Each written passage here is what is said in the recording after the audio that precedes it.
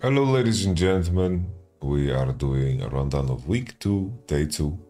Uh, quite tired today. Today's, um, I feel like the lack of sleep is really adding up here. Uh, we are doing LPL, LCK, LEC, LCS non-stop, and in the time off we do a little gym session. But I can definitely feel the fatigue uh, really, really seeping in at this point.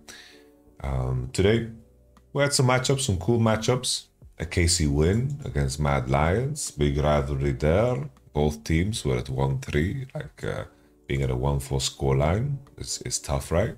We can maybe start there by just looking at uh, the standings, some commentary on the standings.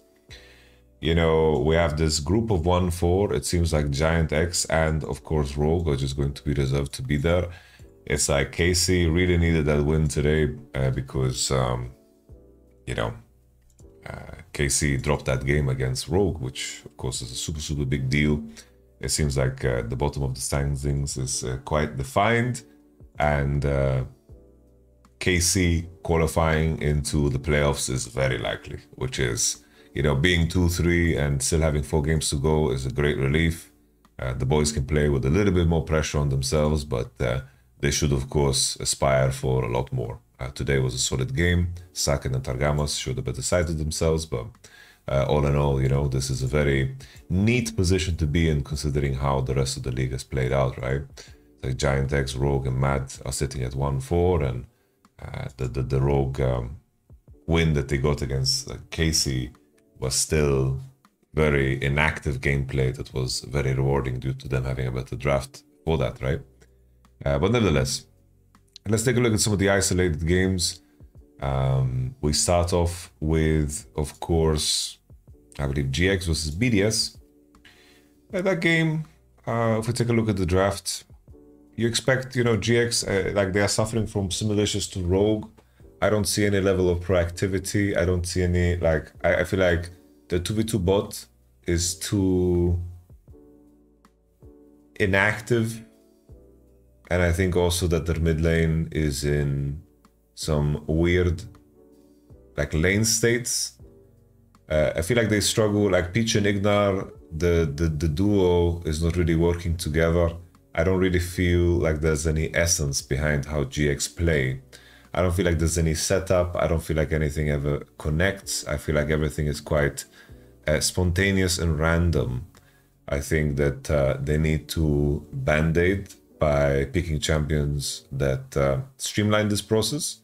I think that the Rumble is good for Odoamne, but maybe they should be playing more Maokai and then, you know, find situations where they have more engage on mid. I think that's something that suits them more, like uh, Maokai, Neeko, they play like Maokai Yone, Sejuani Yone. I think in that direction is good.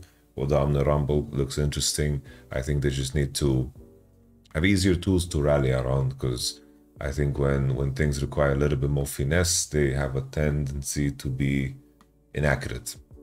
Uh, BDS, it's kind of crazy how they've reach, reshaped themselves coming into this split, right?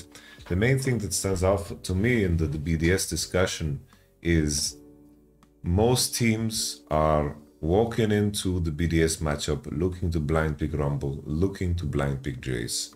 Think it's very important that BDS take a step back and really, really talk about how they want to approach this because in the current meta, banning things one, two, three, like the Jason, the Rumble, it's not necessarily something that you always have room for.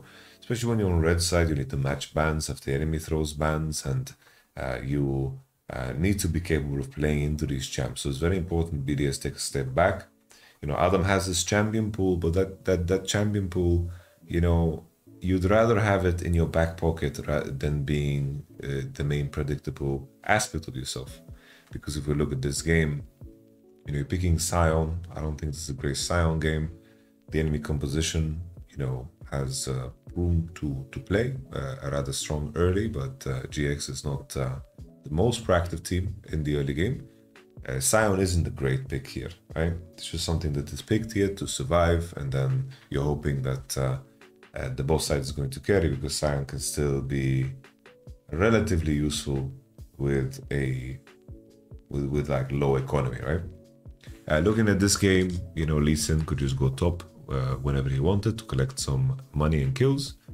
Uh, it started off the chain of, of actions you know, here this is a moment where Ice uh, just connects with his team. He's opening through mid. This is very standard, right? It's like on base of Ice, he opens through mid and then collapses. He has Ghost.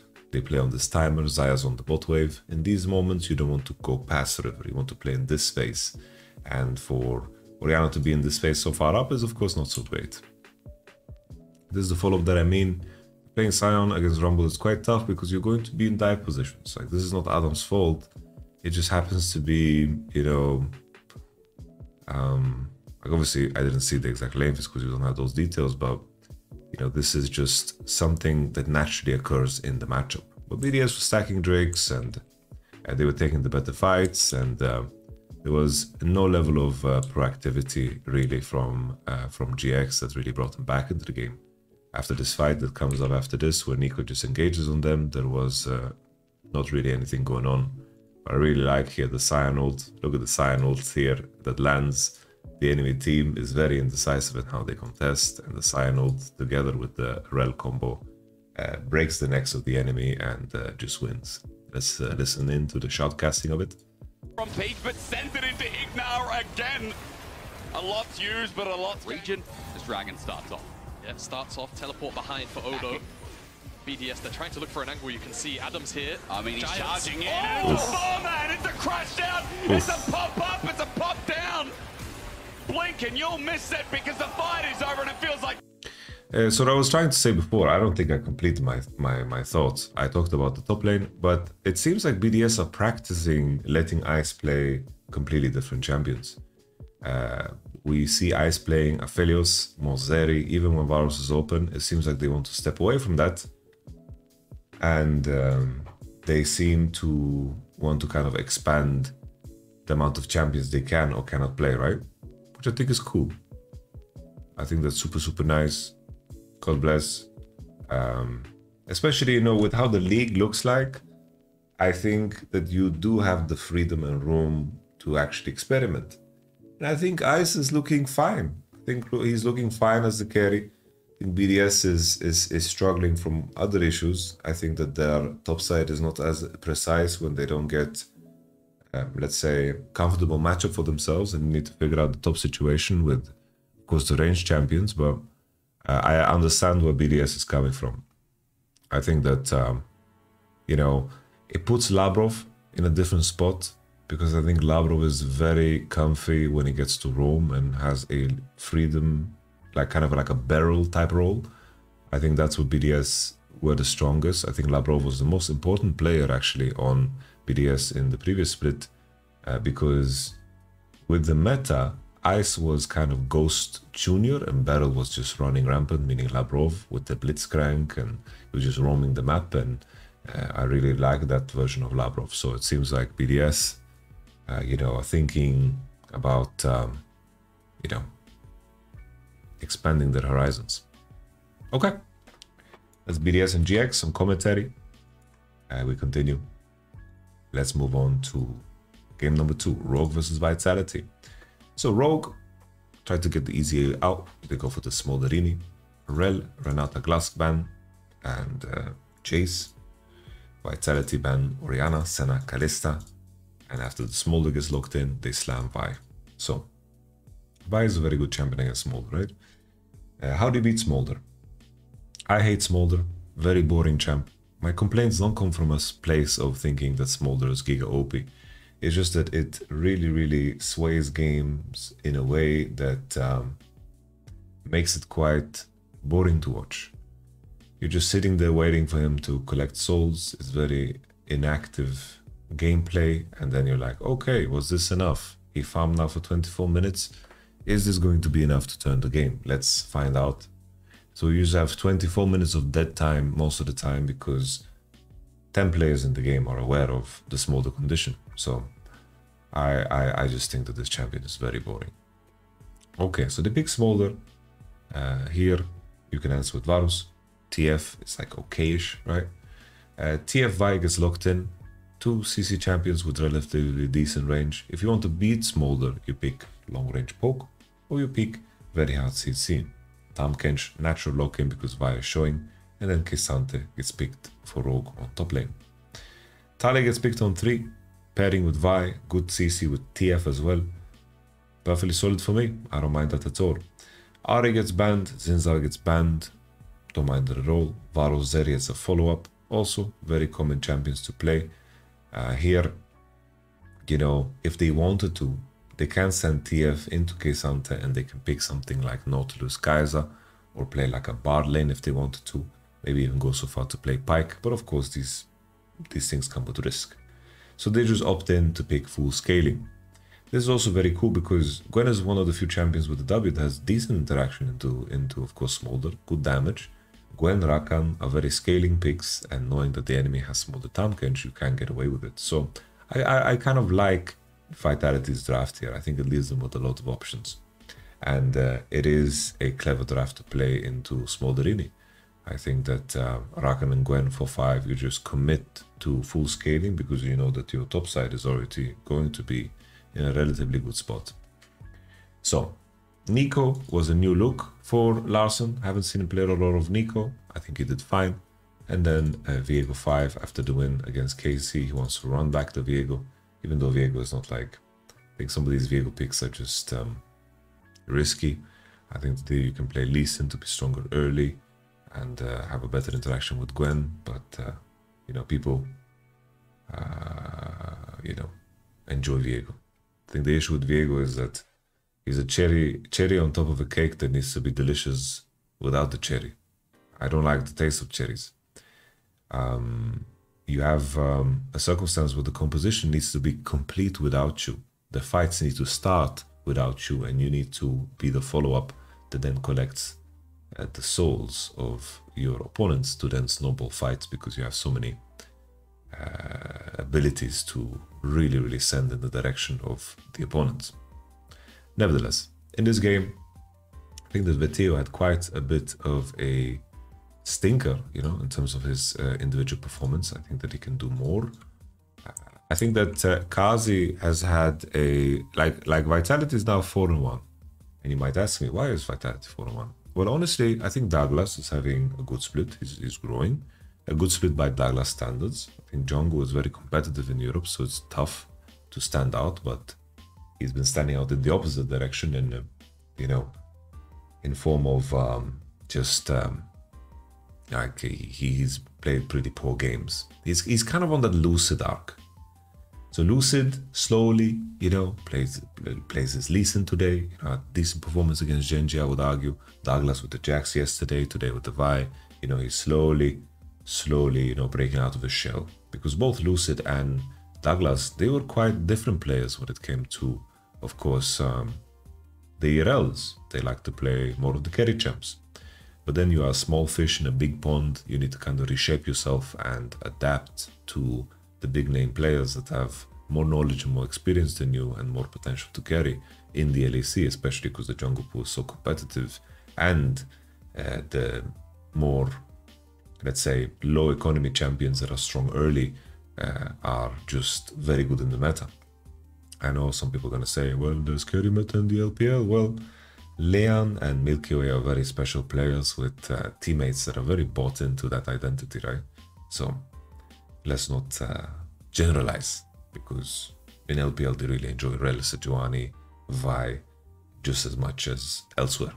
Okay, so crazy to me that Comp is running no cleanse against Twisted Fate. He's really believing in this Tahm Coco, uh, which is a big ask, you know. It's like if, if Card forces Eat, then Vi can follow up, whatever, you know. It's, it's just very greedy in my opinion. Uh, TF already has a cheetah base here. They find a good trade. And then finally, Kombovic just flashes dry, like he didn't flash anything. Could have maybe flashed the card and then maybe Raka can't connect as fast and he can walk away, something like this. Uh, just a dry to be 2 kill. Uh, like Vitality, I think uh, I started on the tangent that Vitality has been doing well. I talked about Daglas, but I think Carzzy and Photon are having really, really good splits, honestly. Really good splits. I think that in all of the games that they played so far, they've been very, very solid. And uh, Carzzy has played Smolder, he's been playing Senna, he's uh, very aware of the souls I think that Carzzy is playing super, super well. So shout out to Carzzy, shout out to Photon as well for having a good split. In this particular game, Photon uh, draws on his keyboard a little bit later, but I'm going to show that. So Larssen ults over the wall and looks like it's going to be a good play. But keep in mind, Larssen has no base, no mana here. So these last spells that he throws are, it's, it's basically, you know, the last uh, gas in his tank. So here, Photon W, so he is not taking any damage, of course, from the last combo, which is standard Gwen play. Good job. He has Ninja Tabi and he slices through and he hits through. And uh, I don't think it mattered really what Viego did, if he picked up a soul or not. Uh, the fact that Photon gets two kills here is massive for the game. Uh, this is sort of the gank, as uh, he's trying to ghost away, but it's not enough. Fast forward. This is what I meant with Vetheo. It's like he's playing a very, very long range champ that is very, very safe, and he's just not tethering himself at, well at all to the opposition. Uh, this was kind of weird, a weird look for Vetheo and uh, you know he gets Q3 again. He refuses to flash, and he just dies. Archangel breaks, and uh, he's just got greedy. Like he just had to tether himself to to the K'Sante. The K'Sante is walking on him. All is good and all is breezy. Okay, so we continue. Um, Markoon, not sure why he's standing melee against the enemy, but you know how squishy you are with the Kraken Slayer build is definitely something that always concerns me, especially with TF who's going to, you know, grab vision off of you. Um, yeah, but Theo's positioning is also super weird. Like in my mind here, I think that he should be the one walking like that because he spots everyone on this side, right? In mind, this is Heli Rakan spotting everyone. I don't know why Vetheo is hugging this wall.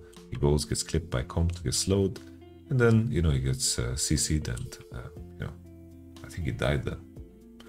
Uh, we continue. Big fast forward in this highlight reel.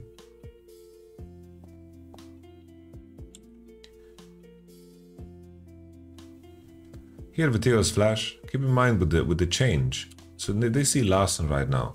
No one spots this wolf. This puppy here, honestly, and even in spectator, it looks fucking invisible. So uh, I guess it isn't too crazy that it didn't spot him. Alright, so Larssen gets the ult off and Vetheo does a very short flash, right? Still gets connected into and uh, the fight starts horribly. Like, uh, the fact they didn't mark Larssen here was quite strange, but Larssen turning into a jungle minion, I guess they threw the enemy off. And a game that was very one for Vitality. Um, they're giving something back here because Smolder is smoldering, but Rogue, not known for converting their positions too well, uh, Vitality eventually close out the game. It's a very crucial moment that happens in the game where Neeko has the opportunity to really, really, you know, fuck them up on bottom side. In in this particular game, what's important to note is that Photon right now is so strong that he can literally 1v2 the Neeko and K'Sante on side. So he can create so much pressure to really create circumstances where Comp doesn't get to play 5v5s. We continue. Zweilous engages forward. Not the best idea in my mind here when you're playing K'Sante, but I think Daglas kind of plays the situation, you know. I guess I guess Daglas, what he does kind of makes sense considering Kench W's forward. Like he just queues past. I think Daglas actually plays this pretty solid. I wonder if Hilly could have snapped here like uh, Kuzuela is straight up ending. I think if I think if Rakan here snaps here together with Daglas, I think that Daglas is low key kind of smurfing here. I think I thought at first that he was inting, but he's kind of smurfing. I think Vetheo like as well is Wing like that is uh, very crazy. Like he forgot that he's he needs to eat people, yeah. So it's remarkably close. Comp goes for the last spell there. And we have an ace. So, things are getting very weird, right? Things are getting very weird. It's like uh, you think against Smolder, wow, you can't give so much away. But keep in mind, Vitality's composition scales fucking well too. Taliyah is no slouch. Rakan, Gwen, TF, Vi even. You know, these are champions that scale super well and have pretty decent interaction with Smolder. And while you look at the other side, it's like Tahm Kench, sure gets value against Vi ult, uh, but beyond that, doesn't scale right uh, is is very reliant on the scaling of Smolder, which is fine. But Neeko, Viego, and also K'Sante even, when the game is 30 minutes long and the Gwen is so fed, it's like the scaling is not the same. Like, uh, Vitality definitely competed at scaling the bottom in such a game.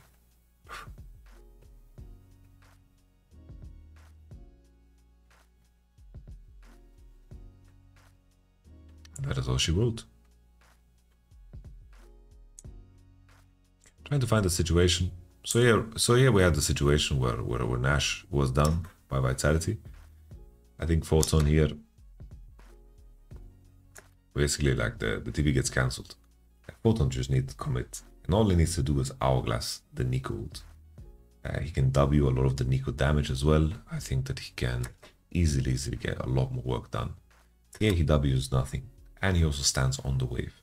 As you can see, he does a massive amount of damage on the turrets. Uh, then he ults, then he takes the turret aggro, no Zeus Vanguard use. He could literally end here, because the enemy team cannot base. And then he hourglasses now. Oof. Photon really choked it here. Really, really choked it. I think even here Photon can game a lot harder than he did. Um, but maybe he's just worried because he uh, did in fact uh, use Zika's Argar the way he did. So now Tiva is knocking on Heaven's Door, he's on top. He's just hitting. Neeko has no TP, so he's just gonna try to commit and uh, kill the TF. TF giving full vision in situations like this is very powerful, of course. Knowing where the enemy is flanking, not flanking, makes a huge difference. Uh, they manage to get, of course, the Drake on Viego, but they're all in such a horrible spot because they're all in the pit that uh,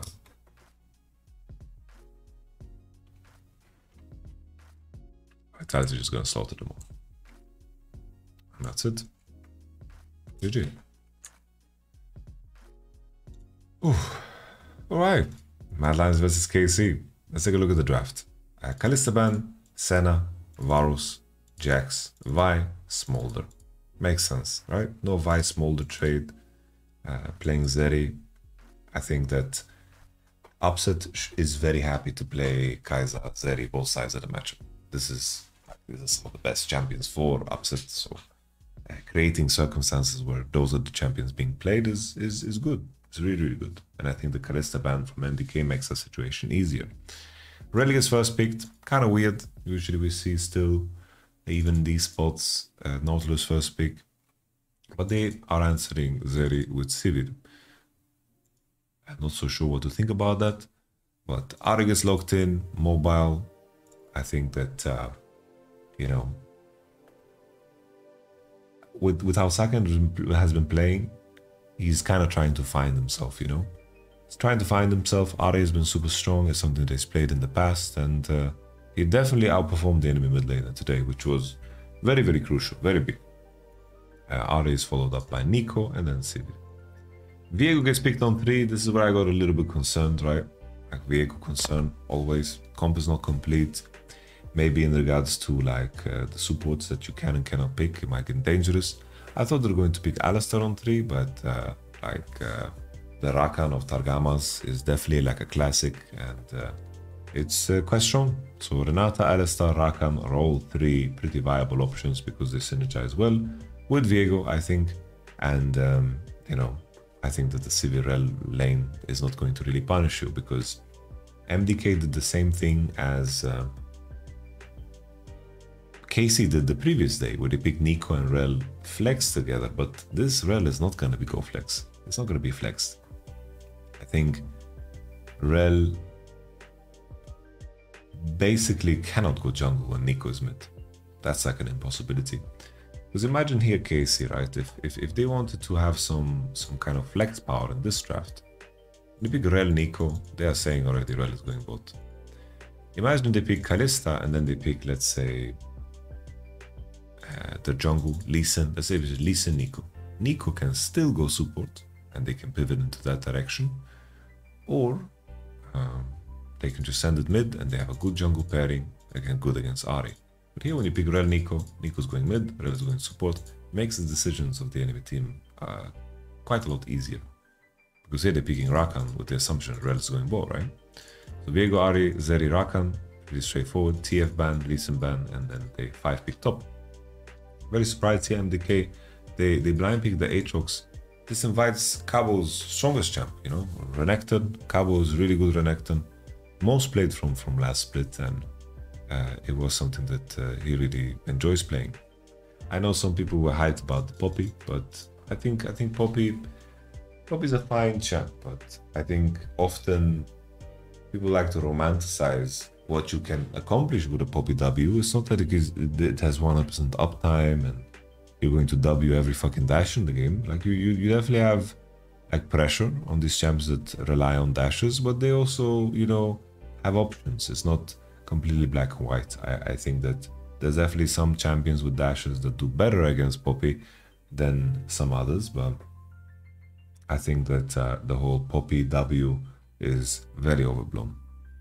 In this particular series, I think that um, you know the key thing was how KC actually approached all of the fights around Drake, which is uh, oh, this is the wrong game, which of course is a very big pain point in my opinion, uh, like of, of, of what we we went through in winter and also what they've gone through in summer. So that's a that's a very very positive sign. MDK still was quite sharp in the early. They had some good trades. They pressured. Uh, they pressured Elyoya, like Elyoya pressured into the jungle, and they stole the wolves. I'll just show you guys the sequencing because it's because it's interesting. That vision. Bo gets pressured on the Gromp. You know, this this blue side jungle is a very friendly space for Poppy because there's walls everywhere. Walls everywhere for her to trade into you, phase rush away, get cooldowns, and then do it again, and then you're in lethal range, right? Very good trade pattern for the Babushka. Uh, Viego started blue and Elyoya went for the pressure. And realistically, like Poppy, CV, Rell, it's very hard for them to dive. Uh, Zeri and, and Rakan, even in this game, they got some really, really good trades. Uh, Bo, uh, the Wolves gets reset. And Elyoya uh, finally finishes the Gromp and he's level 3. Here, crucial detail is that you can see Bo here goes back to check Wolves, but they're gone, wasting time. Crucial detail if his bot lane says we can't get Dove, he should just piece the fuck out just fucking steal everything from the enemy top side and, and, and force the enemy to, to move out bot through this because bot dive is very hard. Here, Elyoya could just remove, remove himself from Folk and then cross onto top side and secure his camps. Not that Poppy clears fast enough to consider this a punish against Viego, because I don't think she's going to be able to attack Viego's response, and her own response would be so late, so Viego, after killing his own response, will be able to pressure Poppy on her response, if that makes sense. Here, Elyoya is waiting a lot of time. I don't know who uh, convinced him that he can dive, but it's obviously not true. Glens on Zeri, there is also Guardian, they get level 3 on the wave, it was already thinned out. Uh, not super easy. Cabo proxies the wave, stands stuff against Aatrox, gets double longsword base, and then walks top. And Targamas, uh, like Aatrox also walks top. So now Viego's taking it easy. Early lane matchup is hard for Saken. Nothing to panic about. Has a decent base here, you know, with the new magic mantle refillable against a alternator and potion, dry potion that is bot. We continue. Here, this was quite sad. I didn't remember what happened here because I was so surprised that actually Bo died. But um, Hmm. Let's take a look at this again. Now my main concern here is just like the mid situation. It's like enemy mid is, is, is walking first and you're stepping into river and uh, and and Saka needs to kind of like be fighting the Neeko to prevent this from happening. And then hmm.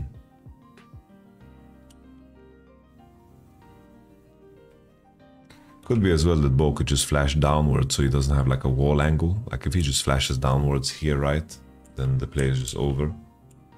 Like he's just waiting too long to, to for this to happen, right? Because in the end, the enemy also use sums flash for flash and uh, you break the re-entry into both and it's completely fine. Here, this is so close for Saken because Neeko, when she ults, she sees, her, sees herself, right, unless she flashes. And then here, Fresskowy also eating plants is incredibly close. Second does the best out of a bad situation because the enemy Neeko has Prio, so it was a good attempt, I think. Good attempt.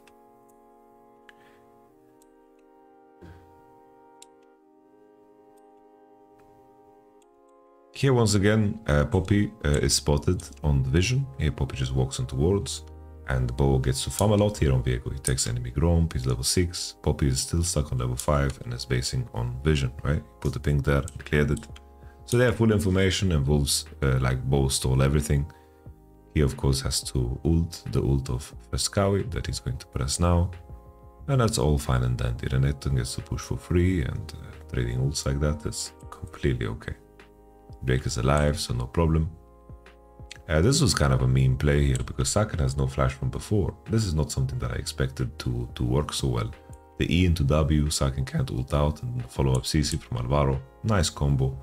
Uh, Elyoya had a pretty fucking decent game today. I just don't think that his champion is uh, that strong in this one.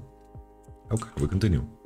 The reason I don't like Poppy is because even Poppy, even can, even if Poppy can stop a lot of dashes, you still need to have good pairings. Like Poppy, like if, if they had a mage mid, right, a long range mid, let's say had Hwei, I think it would have been so good with Poppy. But Poppy Neeko as a pairing, it's not super exciting. Not super exciting. Even though this gank worked.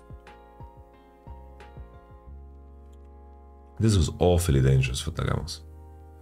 Uh, I think if uh, Elyoya uses W right, I think it could have been very, very dangerous. I don't know if the interaction with Rakan, if you W right on your, the frame that you're standing, if it doesn't count as a dash.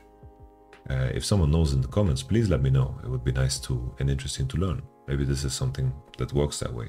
I'm not so sure myself. So, trades ult and they manage to secure Drake, which is a big plus. I think scaling wise, red side is, uh, you know, satisfied, you know, they are definitely happy. Think the Rakan scale as well, and I think that's like the, the, the biggest point. Eclipse is finished for Renek. Here, this is the moment where I get so fucking scared. You know, this is the Mad Lion special. They cut through enemy jungle like butter, right? They cut through completely.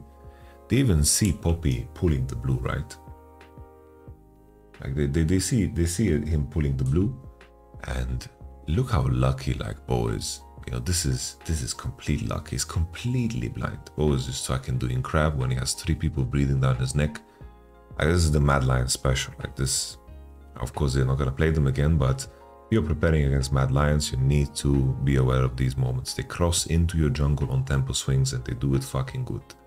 Uh, it's not the only time it's gonna happen in the game, but this is like Mad Lions' biggest strength. In this particular fight, uh, you know, Alvaro does a good job of blocking the CC here from Saken, otherwise the chain CC on Sky could have been dangerous. Uh, here as well, Alvaro just surviving with so little HP uh, makes it frustrating because all you want here is, of course, the reset, and the reset doesn't land.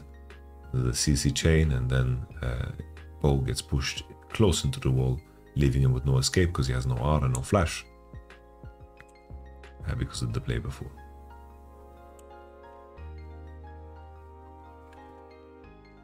Here I wonder, you know, Renekton needed to respect on the Pixel because he shouldn't die to a gank, uh, but Cabo's just joining the fray, has big item advantage and should want to fight. Uh, Cabo, uh, in the end, uh, at least collects one, and he gets uh, uh, the kill. Not so sure how important this flash was because the enemy team just didn't have spells. Okay, we continue. this was a nice move. I like this from Bo. Like, it might seem pointless, but Bo soft contesting and being ready to run and pulling them out uh, gives them information. And at the highest level, and in honestly, it's, it's just a concept of the game, so it appears it appears always. Uh, just the fact that Zeri can push for free here, get platings for free, she has three void grubs, like this is this is massive. She can push and uh, uh, definitely MDK are really overcommitting for this one. I can't really comment on MDK's macro here because we were stuck in a replay while it while it occurred but uh, this is considering the bot wave is an overcommitment. I think Zeri should hit plates 100%. She's not going to make it on time, and these grubs don't matter. And I think or this, he already pushed away, so his tempo is much better. He shouldn't be in the river, you know. Okay, 2 for 4, KC don't need to care, they should never hard commit to, to the bot grubs. And if the enemy, they should look to do them, see the reaction of the enemy, if the enemy plays bot side, all is good, you clear, here Upset just wants to look to, to base, but Supa is just looking for another cancellation, and I don't know what the fuck he's doing here. Very greedy. He has Kraken, uh, item advantage, and he just wants to make sure that Zeri stays in lane, but this is just pushing it. This is just going too far. This gives uh, a kill, and Supa uses sums, which of course is very important for the coming Drake. As well here, Elyoya gets your CC'd and gets killed here, Saken with the with the ult flash. Uh, and uh, he gets the reset. Neat. This is looking like a Big win for KC, of course. Renekton's pushing top for free. Sivir has no sums, and they're also getting a Drake, which is super important. Like leads are very polarized in a game like this because both compositions want to play the same way. Secure the Herald as well, good fashion, very solid. We continue.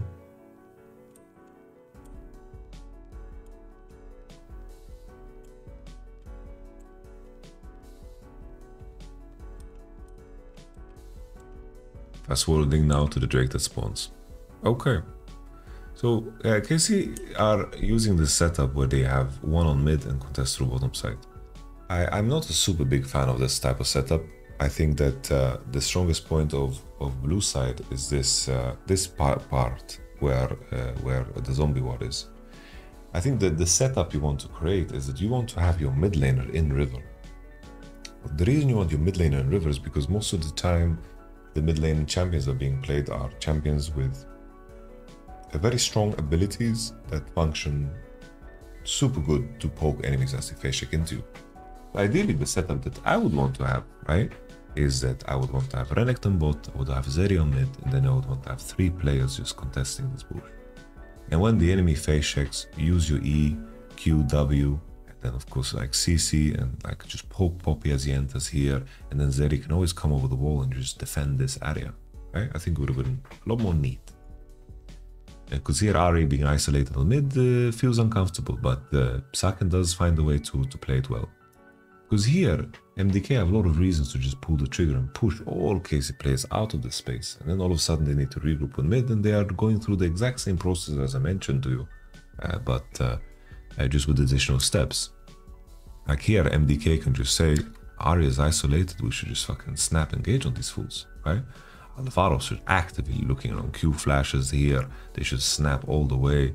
They should like look to fucking combo them because these guys are very clumped up. This is looking very scary for me. That's the, the name of the game, right? It's like you uh, you have to you, you miss 100% of the shots that you don't take. Uh, they regroup, they regroup, and uh, here Saken spots Fresskowy, and now he has information on all. He has information, he sees four people and knows that Fresskowy is isolated. Saken has mercs and takes the decision to just commit to Fresskowy because Fresskowy needs value from his ultimate. The spot in the 1v1, not enough value against an Ahri that has mercs. So very good engagement here of Saken to find the isolated member. But in reality, Mad Lions, after pulling out the Drake, should be defending this space to make Saken isolated. Yeah? But they go all the way down and then Targamas snaps. Uh, Saken and Targamas worked very well together today. Very good signs. We continue. Not here, uh, when I was watching this live, I was just kind of begging, you know, KC, just slow down the game, wait for the Drake, you're gonna be all good, all fine, no need for risk, let Ahri get flash, all and all, take it easy. Uh, Bo should never be on midwaves, never be on midwaves. Uh, I'm not sure what this play, what they're even looking for, or Upset even walking up to like fucking fishing W when he has no vision. Uh, it's just insanity. All of his solo laners are just picking up camps right now and I really, really don't like this. Really don't like this. We jump forward.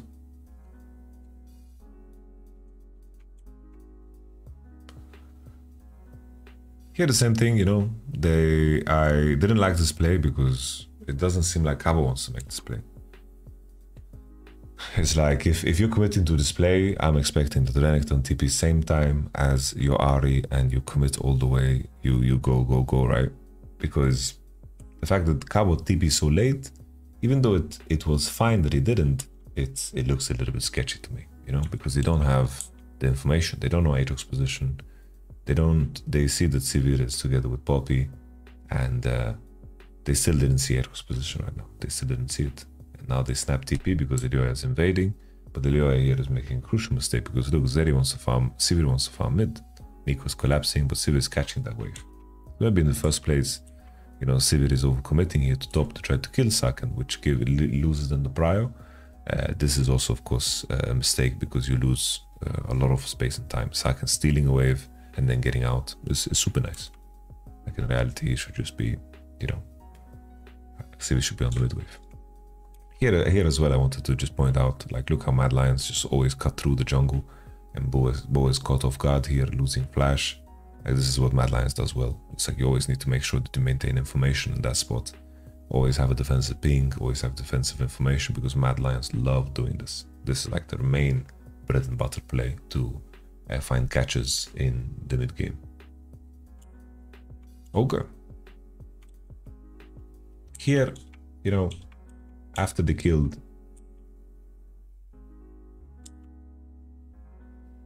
after the TP situation, right, and they're fighting this, you know, very good fight. Cabo TP is quite late, but it doesn't matter. It was just as late, and they managed to get these kills. Good idea, I think, to just start Nash. But the crucial detail here is just like you, you can turn with Renekton Flash W, right? You can hit first target. Whoever, whatever fight you get should be a winning fight at this point. The enemy team needs to enter into the pit, and you can play towards that pit. For example, here Targamas could be playing maybe behind the cliff here, right? He can maybe take that pink out, he can play behind the cliff, and uh, they can wait for them to enter. I just think that KC, they just turn too early. They turn too early, they have full information, and now they go for turn. But still, the enemy hasn't entered the sphere of influence. In my mind, this, this hot dog IG icon, like, you want them to cross that line. Because the odds of Poppy, like, fucking flashing in and smiting when you're the one hitting it is is non-existent. I think this turn is just uh, poorly done, you know. But the idea is good. The idea is definitely good. I think that uh, KC could have gotten Nash here. But it was in the end of the day still a net positive play. Here, eh, Alvaro is contesting the right space, but he just doesn't give it up on time. He's so lucky that he doesn't get charmed. He's so lucky that Ahri has charm on cooldown and Targamas misses W because he's going way too far. He should tether to the situation. If the enemy is spotting him, he should walk back and uh, that's all, right? He should walk back. He should let now Myrwn play in his spot, because if the enemy is committing like that, then Myrwn can undermine them and you go back to your team and MDK can then step into the pit more, right? And then you're just marking them and you follow, right? Kind of always, always maintain like this half circle formation. Sometimes if you go too full circle, then the person, the, the player that is Myrwn here, just his position becomes bad because you're fighting here. Alvaro could have gotten gone back many times, but he goes back in, you know? He goes back in, he goes back in, keeps going back in, and he just kind of suicides. And from the fight from before, Supa has no flash and ghost, and look how Targamas snaps on him. The flash into WR, super nice. Uh, spell sheet was used late, and uh, Bo gets the reset, playing Sivir, and uh, Upset gets to keep his summoners, and they get Nash over with too. And that's uh, GG. That's GG pretty much. That's fucking GG pretty much. Shout out to fucking Saken and Targamas having really redeeming games on stage. I know they are capable of a lot more than, uh, you know, uh, than what uh, they've shown, which is super, super good. Uh, I, I'm happy for them, you know? I'm happy for them. The, the players uh, are capable of more. Alright, let's take a look at this final fight. Just an all-out collapse here. This ward is just spotting them. Like, it's so, so goofy. Like, Fresskowy is sweeping as a minion, and he's not hitting the minion, like hitting the ward. So he's sweeping it, and then he like forgets about it. And then we just have Myrwn and Fresskowy just standing on this ward. Look at them. And then Kyle Casey is like, yo, should we just fucking engage them? Let's just fucking go on them. Let's murder them. Uh, doesn't work out super well, but still weird to me to just standing on the ward, right? An old but Myrwn doesn't have ult either and is very unhealthy, and uh, Aatrox is very ult reliant, right? Cabo in a very good spot, keeps the pinks. And then Bo is charging to try to find uh, the attack. But upset step back here is super crucial, you know? It's like uh, Fresskowy is going for the engage, makes it uh, quite telegraphed here, and the fact that Upset doesn't get CC'd uh, is of course the most important thing. He's still shooting, still hitting, and uh, GG. Relief, relief for KC, guys, relief. Sweet relief. 2-3 is way better than 0-5 at this point in time. I speak from experience.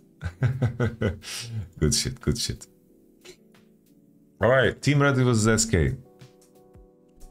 This was the the goofiest. This was the goofiest game ever. Like SK have a way of throwing impossible games. I don't know what's going on in the SK camp. It's it's borderline as if they are playing for Swiffercam. That's how bad it is. They are playing for Swiffercam. I can't provide super useful commentary on this one. I did think that this is quite a miserable Jarvan game to play. Um, same thing for Thresh, but I have to say Trymbi and Jankos really, really, you know, did a lot of work. Although Jankos also did a monster throw of his own. So, let's take a look at some of these highlights from Team Heretics versus uh, SK. So, first play that, uh, you know, this this might sound weird, but I think this is just, this is quite bad. Like, Trymbi gets a solo kill here. He loses HP. Keep in mind, he didn't base yet didn't base yet. The bottom situation is that Flakked and Trash, Flakked and Trymbi, they're doing really well. Really well. They forced Doss to base TP back on refillable. Super cool. Um, I didn't talk too much about draft, but the, the, the main thing here is my concern is that Jarvan doesn't get a lot of value here. Thresh needs to turbo smurf for this to work out good. And additionally, uh, SK's composition uh, kind of lacks uh, damage, meaning they can't really pressure Nash that easy. But they scale well, and I think that they should be able to get resets for Ahri and Aatrox because the enemy team is rather squishy. I think that red side draft is still better. Like if Topis was played these champs, I think they would look, uh, they would be super happy in that draft. It's just that Exakick doesn't strike me as a Senna player at all. So, the reason I don't like this from Trymbi is because he kills the guy, he wants to base TP back anyway. He gets 400 gold, God bless, okay, cool but there's no assist given out. And additionally, Senna and Nautilus get complete relief. Thresh could have based and walked open on bot and created a free situation with this cheater base of Varus, but instead we have the situation where Exakick and those get to push out completely just because Trymbi goes for this kill. Trymbi goes for this kill. Keep in mind, he walked all the way here and then had to base and walk bot. It's a lot of tempo spent to of course, achieve this skill. And it's 400, it's 400 gold, but 400 gold, kind of whatever, on a matchup that is already winning. It's not going to make you more winning, right? So we continue. We continue, we continue. This was a cheeky play here. Um, Zwyroo gets charmed and looks like fine and dandy for SK, but the turnaround here and the hook follow up with the flash. Everybody flashes in, the Avengers are here, and Exakick, I don't know why he just refuses to walk away. Refuses to walk away, he could walk away, walk away, walk away, not be in Jankos' range, but instead he's in Jankos' range and he doesn't use flash. Uh, later on, Exakick in this fight uh, didn't show how he lost flash on bot, but he did lose flash.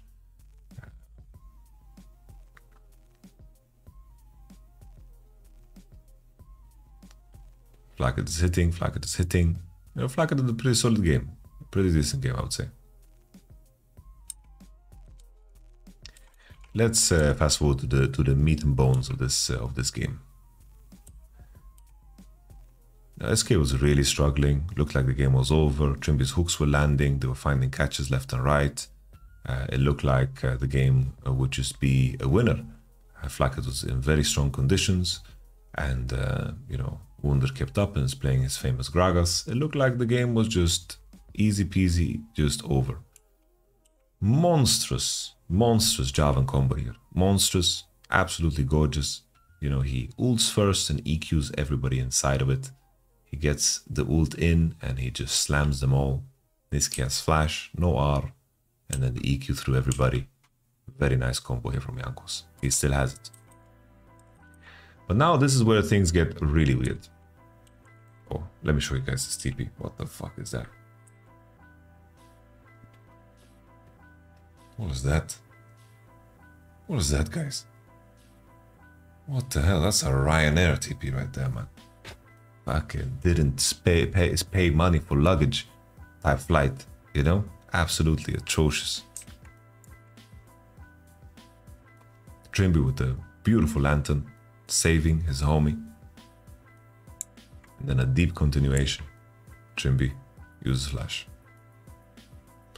Wunder does a really good job in the fights to really deny Irrelevant because Aatrox always got ulted out by Gragas when he ulted and to walk back into the fight without the move speed is it's kind of goofy. Uh, I think that Flak had also got a lot of DPS in. I think that uh, we had a little little Gumayusi-esque performance. I say that as he dies. Here, just not waiting, you know, Mercs and flashing Alpha Nisqy, just not waiting for the Neeko is the problem. Uh, just Team Heretics rushing when they don't need to rush.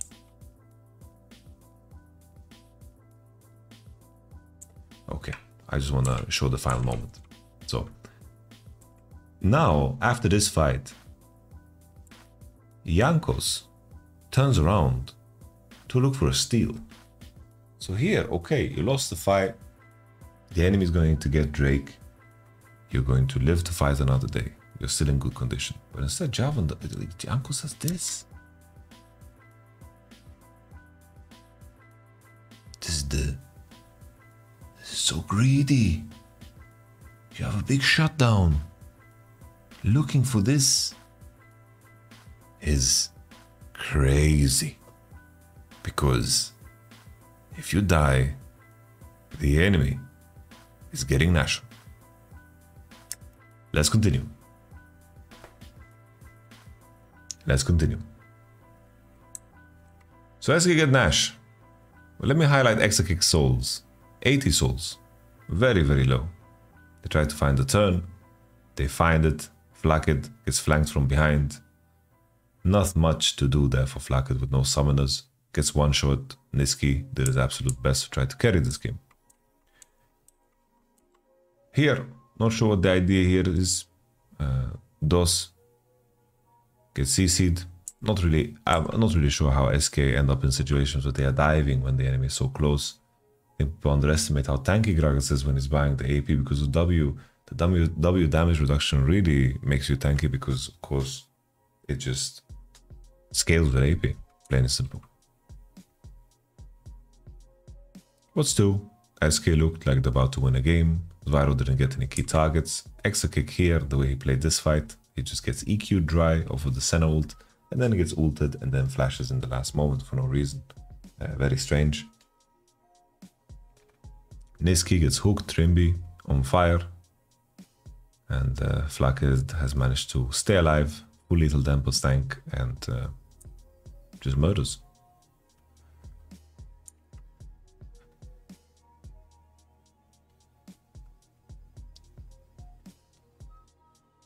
Here not showing Nisqy, just going melee. Yeah, but this game is just so goofy, guys. I don't have much commentary. I think this was just a game that was completely up in the air. I think that um, both of the teams need to take a step back and think about how they draft, in my opinion, because I think that's like step one to streamlining the game process and then just making sure that they pay attention to each other's position uh, in regards to their setups for objectives. Okay. A very big one, the final one here Fnatic versus G2. So let's start in the draft. Fnatic versus G2, Draven, Kalista, Neeko, Taliyah, first pick after Aurelion ban. Very natural, something we've seen in the previous games too. Taliyah first pick fires out. Then they pick Smolder. Smolder here, um, uh, there's answers. People like to play Zeri, some people like to play Kai'Sa. Kai'Sa Nautilus, perfectly solid. I'm super surprised they don't go Smolder and Nautilus. So I think Tahm Kench is quite bad against Taliyah. Nautilus is pretty solid against Taliyah, and Nautilus is good against Smolder. What do you expect the enemy to lock in when you pick Nautilus, right? Is it like Varus Renata? Is that what you're worried about? I personally think that's better than playing Smolder Tahm against Taliyah specifically. So Kai'Sa Nautilus, this time around Noah went for the AP poke build. So we talked about Smolder's weaknesses before. Kai'Sa fits that niche very well because she has all-in, can pair with an all-in composition, or she can play the poke game, right? So Kai'Sa Nautilus Vi works super, super well as an example. Uh, she can find good damage to follow up hard CC, uh, but also she can go for the W poke build, uh, the LS special, and she can also have a good time. Usually the Manamune build is quite weak in lane, but uh, it doesn't really matter against Smolder. You're just gonna farm, she's gonna farm, and uh, you're going to have a champion that scales well against Smolder. So Tahm gets locked in as an answer into Note. I still think they should have picked Note. And then Renekton gets banned, Rell gets banned, and Fnatic banned TF and Jarvan. Lee Sin gets picked on 4. Not sure why you pick Lee here. I think you just keep it simple, pick Xin Zhao.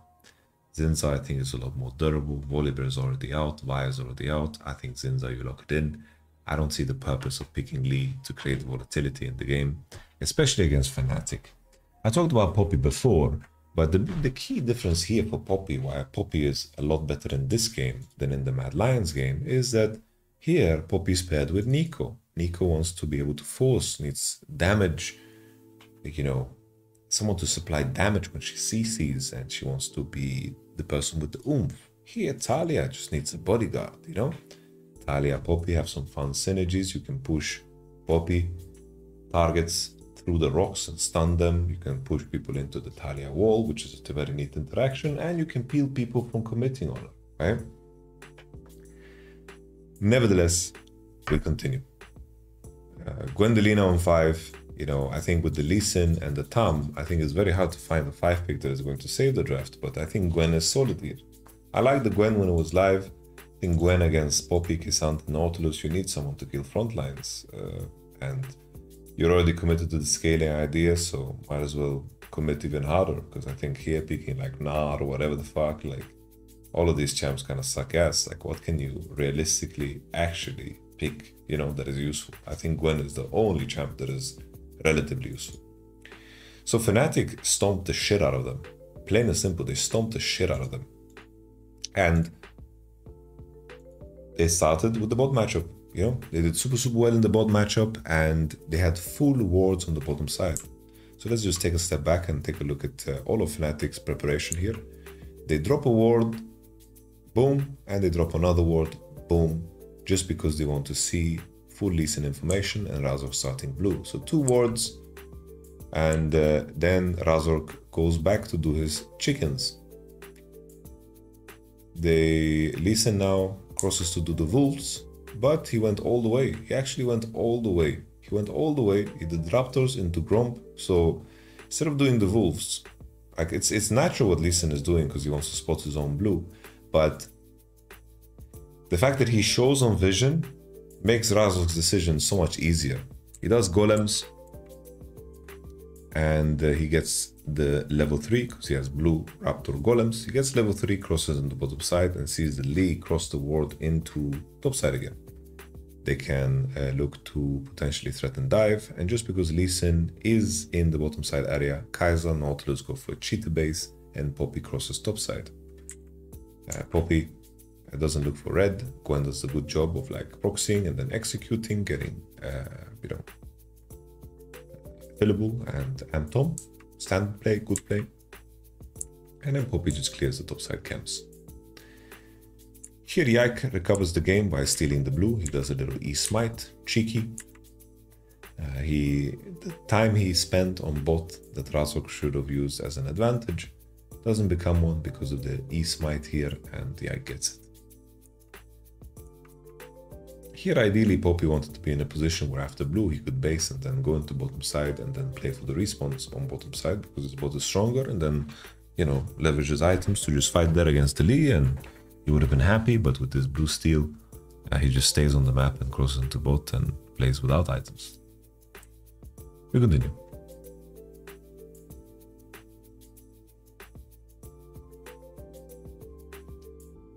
No sums used besides exhaust G2, still quite happy with this one. They secured their bot side jungle. Not that big of a deal. Let's take a look at when the game really, really explodes. I think Humanoid did a wonderful job of laning. Really, really good job. Uh, was just pathing at the bottom side. The game bot is so volatile that uh, Void Grubs is not really talked about. They just want to invade the bottom camps at all costs. Oscarinin completely slamming BB. I was in a call with Gilius uh, and of course Gilligan and of course uh, I will dominate and they were both telling me BB is not a fucking Gwen player. Even though Gwen is a fantastic uh, champion, you need to be playing it, you know? And Oscarinin solo killing Broken Blade pretty dry like that under the turret is, is really, really big for the game, of course. Uh, Fed K'Sante is an unkillable K'Sante, and that's frustrating for anyone. Caps, very lucky, very, very lucky. You know, they are looking for this catch on, on Caps, which isn't completely crazy. Uh, Kai'Sa's, of course, pushing bot and showing, but here G2 cut through. This is something that we mentioned in the previous game too, where uh, you know, the enemy AD has free time because you are just slow pushing away on bot, right? Kaiser should be bot, and uh, you might have room for Fnatic to do a quick play, but the fact that Cap survives here is, of course, uh, tremendous for G2, and they uh, continue, and somehow Hans Sama, of course, gets uh, two kills here, which is a very, very big deal. The flash in the end there to finish him off, and uh, Hans Sama was very happy to collect these kills.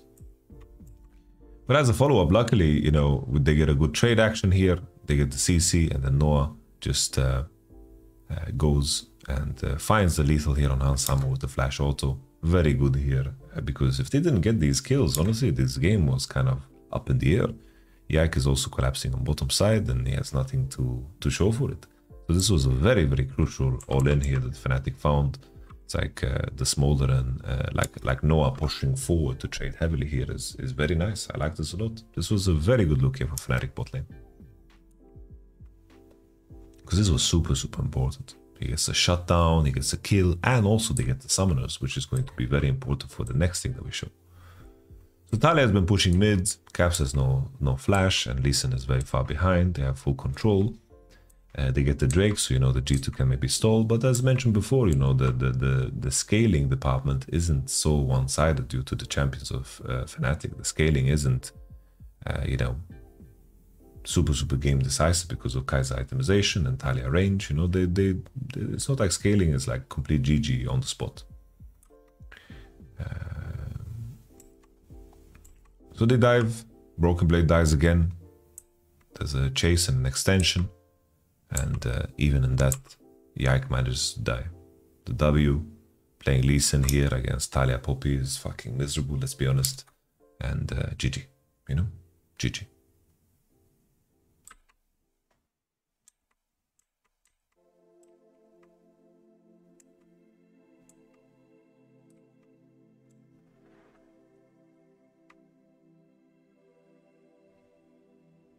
Humanoid walks away the ult. Beautiful. Humanoid was really in his element today, man. Fnatic seem to be back in form, you know. Oscarinin is playing his OTP, but fucking you take it, man. You take it. This is this was a very, very good look, I think. G2 has been sloppy early game, but they managed to claw the way back into a lot of games. But Fnatic was having none of that, which uh, I appreciate a lot. Uh, Broken Blade's getting zone off the turret 1v1 against the Koenig Rukn, which is a super big deal. And then we have the 2v2 here on mid that is kind of uh, going to uh, seal the deal. I mentioned that uh, the flash of G2 bot lane matters super, super much, but I think I was just confusing the top dive with the bot dive. My mind is not working as, as good as I wanted to at this point in time. Okay.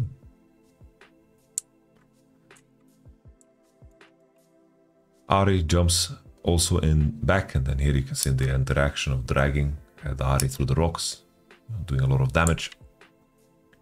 And we're gonna see a Marek Brazdelini smile just soon. It's a, it's a very pretty one. Look at this. Where's the Marek Brazda smile? Look at that. What a handsome man. Marek Brazdelini. Beautiful. Alright, so uh, Noah has Q upgrade. Uh, he's uh, putting 5 points into Q. Uh, he doesn't have the elixir of skill. He maxes W second. That's a part of the tech that Ellis and Unforgiven talked about. Right? Elixir of skill, having level 10 and max W is a part of the idea with 4 points in Q. Uh, but uh, not a big of a deal, you know, it's fine. It is what it is. He's going for Ludens now. Gets 80 from it. And then here, very nice Poppy old man. Fucking beautiful. Razork, Poppy. Best in the league, for sure. Elyoya had a pretty fucking decent game. It just wasn't a good Poppy game, I would say. Okay. So, after that dive, Humanoid hits the fattest W you've ever seen. This is fucking Mount Everest, this fucking cliff that he raises, because they were sent flying, bro. This was fucking crazy, man. Crazy. And this just fucking seals the deal of the game, right? They just get too much gold in this swing, and it is just a fucking Fnatic show from, from that point onward. You know, they try to do some cheeky smolder stacking fucking gameplay, but uh, I don't even look at that. You're here at the end because probably you want predictions. My predictions are not going to be anything too crazy. I think, you know, BDS versus Team Heretics, you know, I think that's a game that can be kind of a toss up. I think, trying to think of what we've seen so far. I low-key feel like Team Heretics have shown a little bit of better League of Legends, so I'm gonna go Team Heretics with this one. Uh, Vitality versus Fnatic. Vitality is 4 and 1, but I think Fnatic's form is just more credible, you know? And I think Fnatic have strong enough players to hold back Carzzy and Photon, but uh, this is definitely like an exciting match too. Uh, G2 versus GX. Uh, Rogue versus MDK. Um, both 1-4, but I do think MDK is better because they're just more proactive. Uh, but um, MDK tend to be sloppy. And uh, Rogue, if they have like a scaling draft, uh, you know, then maybe, just maybe, they can make it through. I think Finn is looking decent. Um, I think that Larssen had a fine Neeko game today. Uh, but um, the way their support is playing together with Jungle uh, is just not good enough. And then SK versus KC. SK is the SK has been playing terrible, honestly. I think that the, the key entry point here for KC is just that uh, figure out how you want to approach both here. I think that uh, I wouldn't be surprised if post bans SK end up on first pick fucking Zeri. Because I think both teams want to play fucking Zeri. But I honestly, I want to predict KC at this point. I think KC after today specifically, where Targamas and Saken showed up more, I think that they are good to go. I think also Cabo getting last pick, maybe you can set up for another Necton angle, maybe a tank top angle. I think that this with Cabo is very effective. And um, the main thing for me is like I'm concerned that they were are gonna get too hyped about this vehicle because I think vehicle got pretty carried on the day. I think um, this was the the Viego is dangerous for me, man not a fan. Okay, that's it. Thank you very much for watching. If you made it to the end, bless you and bless your face. I'll catch you